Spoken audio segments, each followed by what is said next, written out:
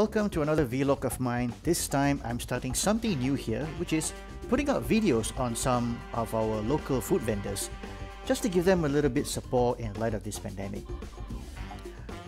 So first up is a burger stall that has recently opened right in front of the condo where I'm living, called Mr. Burger Ampang.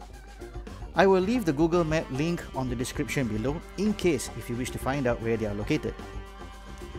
Based on their menu, they have all the regular stuff that you'll find at a typical Malaysian burger stall. Not forgetting signatures one as well, provided of course if they're available. Now from the list of burgers on their menu, I was attracted to their homemade beef patty and while my wife opted for the beef pulled burger. Their overall service is a top-notch one.